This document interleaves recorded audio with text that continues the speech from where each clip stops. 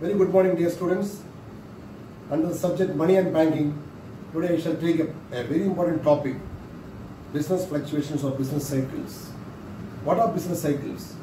Business cycles are fluctuations in business and economic activities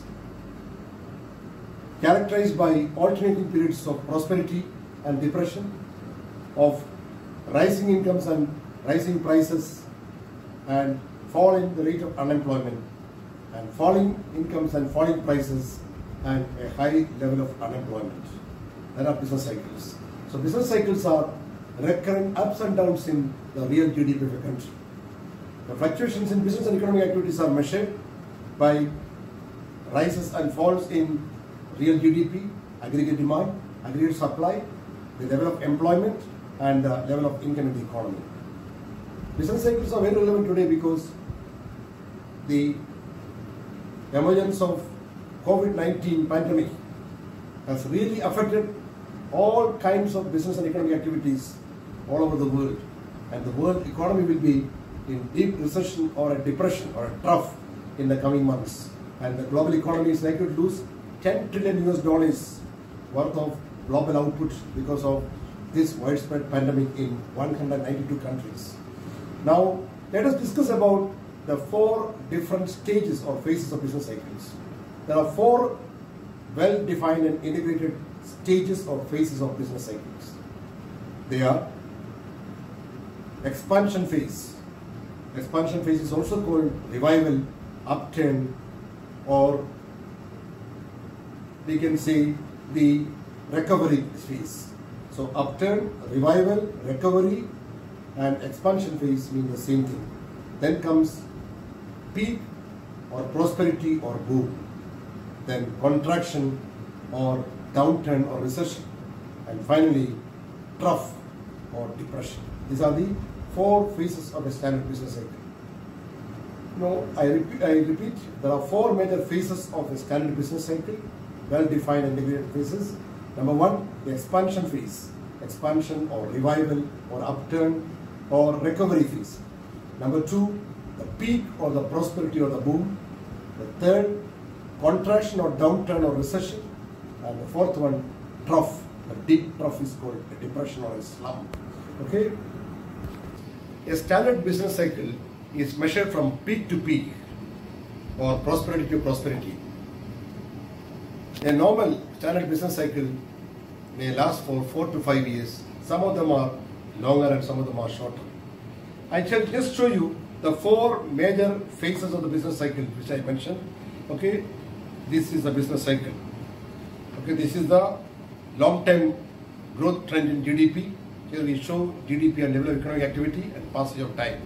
Okay, if you look at this, this expansion phase, peak at the top, then again contraction or recession or downturn, then trough, again expansion, peak, contraction, trough, expansion. Like this. Okay, this is there in the notes. Just for your understanding, I am showing this diagram. Okay, now let us discuss about the four major phases of a standard business cycle. Number one, the expansion phase or the revival or the upturn or the recovery phase. I told you there are four names for this expansion phase, revival phase, or recovery phase, or what is called, you know, the upturn. The economy is moving forward. As the name suggests, during the expansion phase of the business cycle, the economic activities will start picking up. Commercial banks will start giving loans. Business confidence will improve. Workers will be confident as they are able to get jobs. There will be increase in investment, increase in employment, increase in production, increase in consumption, increase in aggregate demand, increase in real GDP, increase in you know all kinds of economic activities, increase in imports and exports, expansion of bank credit, and improved marginal efficiency capital so that businesses are doing reasonably well.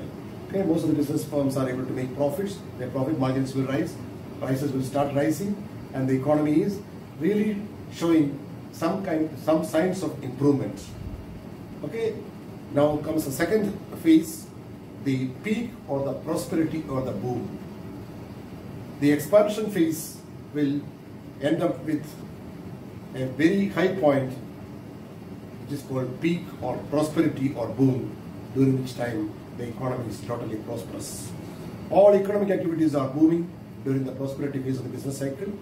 Business confidence will improve, business expansion will be taking place. All kinds of business people, entrepreneurs will invest heavily on capital goods and there will be increase in investment expenditure, increase in employment, increase in aggregate demand, increase in production, increase in real GDP, increase in profit margins, increase in imports and exports, a multiple expansion of bank credit. Banks are calling people for taking loans. Consumers will take more loans from the bank for buying consumer goods, and entrepreneurs will take more loans for undertaking investment activities, and investment will be reaching at a very high level. Now comes the next phase. Once the economy is booming and prosperous, it won't continue forever. Okay, towards the end of the prosperity phase, when the economy is in prosperous phase, the economy will be operating on its production possibilities frontier, and so that there is absolutely full employment of resources or near full employment of resources. Because prosperity is, a, according to Professor G. Haberler, prosperity is a phase in which okay the real income consumed, the real income produced, and the real GDP will rise substantially, and there will be full employment of resources, and will be no idle resources, and you know most of the people who are willing to work and able to work can find job during the prosperity phase. But the prosperity phase will not last forever. The next phase of the business cycle, third phase is called downturn or contraction or recession. Okay, today in 2020, April 2020, the world economy is in total recession. A recession means a decline in real GDP for two consecutive quarters. For six months or more, if a country's gross domestic product or gross domestic income declines continuously, there will be recession. Okay, ever since January 2020, most of the countries of the world are in decline. Okay, because of the widespread okay, occurrence of the COVID-19 novel coronavirus pandemic, the entire world is in standstill. Nearly half the world population is totally in lockdown. They are unable to move. There is no geographical mobility, no occupational mobility, and all businesses are in standstill. In this kind of a situation, the world output or the world income will decline drastically. Many forecasts are made. According to some estimates, the real GDP of the world will decline by $6 trillion by end of 2020. Some experts say it can decline even by 8 to 9 trillion. I believe that the GDP of the world may decline by more than 10 trillion dollars by end of this year as most of the world economies are in total recession. Okay, total standstill. The oil prices are at the lowest level.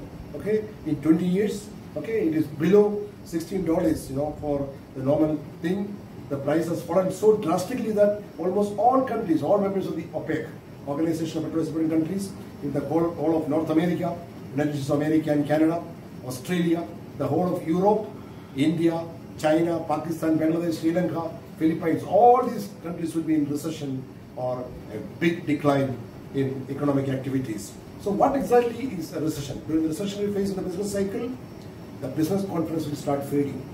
Business investment will not be forthcoming. There will be negative net investment as the marginal efficiency of capital falls. The entrepreneurs will be less willing to take risk.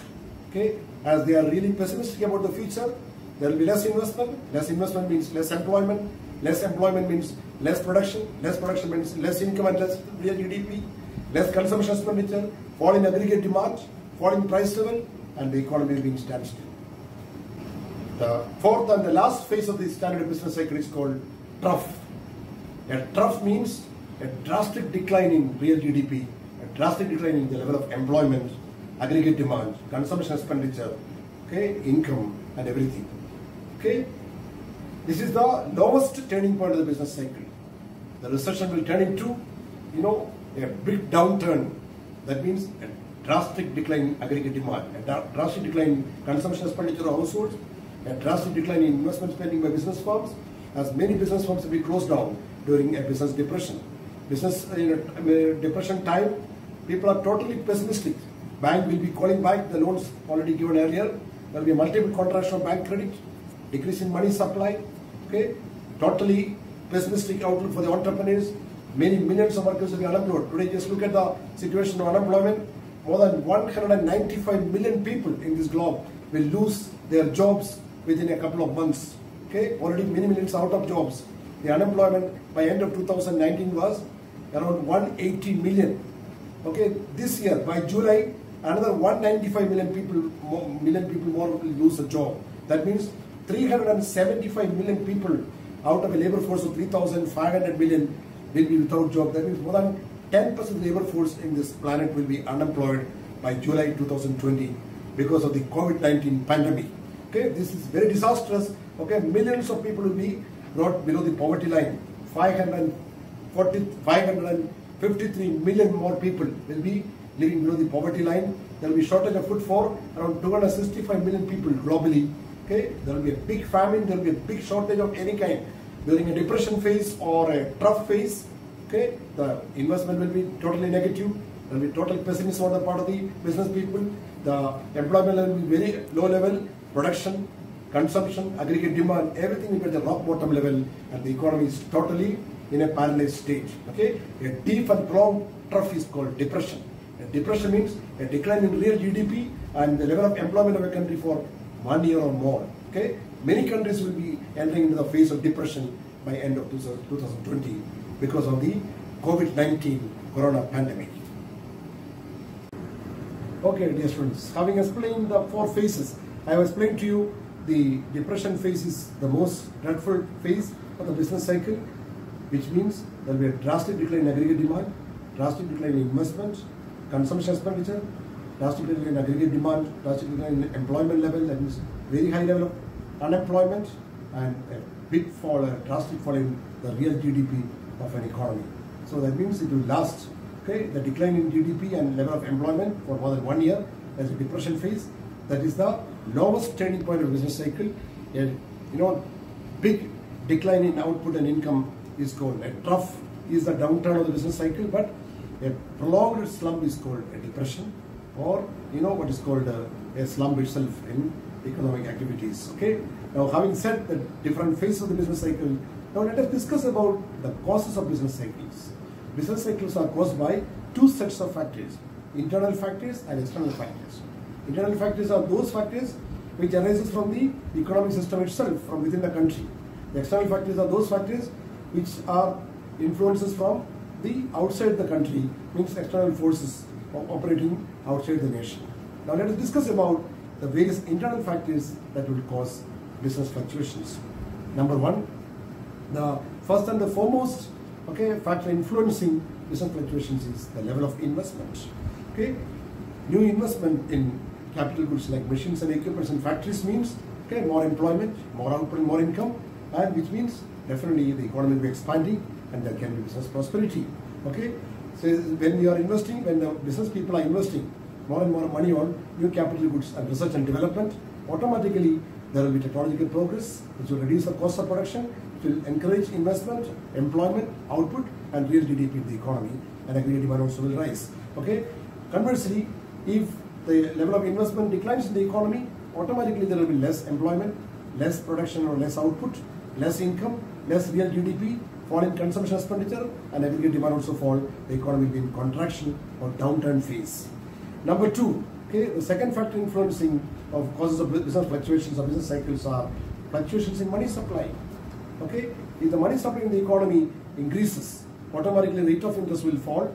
Okay, with the fall in rate of interest, automatically more consumers will borrow funds for consumption purposes and more entrepreneurs will take loans for investment purposes, which will increase consumption expenditure, investment expenditure. Ultimately, aggregate demand will increase, the level of employment will increase, income, output, and real GDP will increase. Conversely, if money supply is decreased in the economy, automatically rate of interest will go up, which will discourage okay borrowing by consumers and business people, fall in aggregate demand, fall in employment, fall in real GDP, and the economy will recession.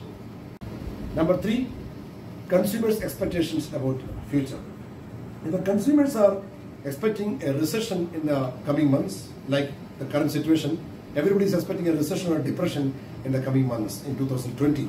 Maybe this month itself, many countries are in recession, and many more economies will be entering into the phase of recession and depression in the coming months. So they will be very scared about spending their hard-earned money.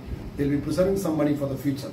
So their total spending in the economy in the current period will decline, which means there will be less investment, less employment, less output, less income, and fall in real GDP, and the economy will definitely enter into a deeper recession or contraction or downturn. On the other hand, if consumers are expecting a prosperous period in the future, they will start spending lavishly because they feel that their jobs are secure, they will be able to get a guaranteed income, and so there will be more okay consumption expenditure, and which will encourage entrepreneurs to invest more, more investment spending, okay, and more aggregate demand, more real output, more real GDP, more employment, and the economy will prosperous. Point number four, business expectations. The business investment is the most volatile component of the aggregate demand and real GDP because business investment is based on the expectations about future, optimism and pessimism. The business people are optimistic about the future, more investment will be forthcoming, which means more investment means more employment, more output, more consumption expenditure, more aggregate demand, more real GDP, and the economy will be expanding its economic activities. However, if businessmen are pessimistic about the future, there will be less investment forthcoming, there will be net negative net investment, less multi-efficiency capital, okay, less employment, less production, less income, less consumption, less aggregate demand, and real GDP will fall, and the economy will be in recession or contraction or, or downturn. The next factor influencing business fluctuations is expansion and control of okay contraction of bank credit. Commercial banks are manufacturers of money. I'll teach you later on how commercial banks manufacture money. They are not only merely okay the purveyors of money, but also in the important sense they are manufacturers of money. They can manufacture money. They can create multiple amount of money with a basic deposit, primary deposit given by someone. Okay, that is called multi, the principle of multiple expansion of bank credit. Okay, when commercial banks are able to create more credit, when the central bank is following an expansionary monetary policy, commercial banks will be willing to give more loans at low rate of interest, which will encourage more borrowing by business community and households, more consumption, more investment, more aggregate demand, more employment, more output, more income and increase in GDP. If you know there is a multiple contraction of bank credit because of contractionary or you know deflationary monetary policy by the central bank, automatically the rate of interest will be high. Commercial bank will be willing to give less loans to the business people and the consumers, which will discourage consumption, investment, employment, output, and real GDP in the economy. Okay, the next factor influencing business fluctuations is we can see the technological progress or technological innovation. Professor Joseph Schumpeter, the Austro-American economist, Professor Joseph Schumpeter says that technological innovation okay, can reduce the cost of production, which will encourage investment activities and can result in business expansion and prosperity. Conversely, if there is a deterioration of technology, automatically there will be high cost of production, which will discourage investment, okay, less production, less employment, less income and falling GDP and economic activity will be contracted. The next factor influencing the business fluctuations is marginal efficiency of capital. If the marginal efficiency of capital increases, there will be more investment forthcoming, more employment, more output, more income, and economic progress and economic expansion will take place. If marginal efficiency of capital is declining, there will be negative net, negative net investment, less okay production, less employment, okay, less income, and fall in real GDP. The next factor is psychological causes. Professor Arthur C. Pigou, a Cambridge economist, says that okay, psychological factors can also cause business fluctuations. You know, if people are over optimistic about the future, too many, too much of investment will be forthcoming, which itself will destroy the economic fabric, and finally the economy will land in a recession or depression. Okay, if people are over pessimistic also, this also will be bad for the economy, and these two, you know, over optimism and over pessimism can also cause business fluctuations. The next factor is the political philosophy of the government. If the government of a country is elected newly, when they are immediately elected, they will try to take some harsh measures like contractionary monetary and fiscal policies by increasing taxes, okay, increasing rate of interest, etc., which will discourage borrowing by business community and households, which will cause business recessions and contractions. On the other hand, during the time of elections, they want to do some popular measures to attract voters to vote for them. So they will be following an expansionary policy, expansionary fiscal policy, or expansionary monetary policy, which will result in increased supply of credit in the economy, more investment, more employment, more consumption, more aggregate demand, and you know increase in real GDP and rise in price level economy under the expansion phase. Okay, then comes the demand and supply shocks. Sometimes, you know, some kinds of natural calamities like Hurricane Katrina in 2005 August in America has destroyed lots of production and employment opportunities. Same way, the unprecedented economic crisis or the financial crisis of 2008-2009 led to the recession of the global economy because many countries were in recession and really, you know, that kind of a contagion has spread to all over the world and, you know, the investment uh, was not forthcoming as entrepreneurs were not optimistic about the future. There was less consumption, less investment, less production, less employment, less aggregate demand, and fall in real GDP, and the economy was in recession. So these are the internal factors causing okay business fluctuations or business cycles. Now external factors. External factors are external to the economic system, the outside forces, okay, which includes okay the fluctuations in oil prices. When OPEC, you know, increased oil price by 400 percent, fourfold increase in oil prices in 1974-75 resulted in stagflation in the world economy. There was inflation with the stagnation of the global economy. Okay, same way in 1979, 80, 82, they have again increased oil prices. Then also there was recession in the global economy. Again, we can say so. The similar similar way, the present COVID-19 pandemic, the novel coronavirus, which has got a very big impact on okay the business fluctuations and business cycles because of this COVID-19 pandemic. Okay, almost half the world is locked down.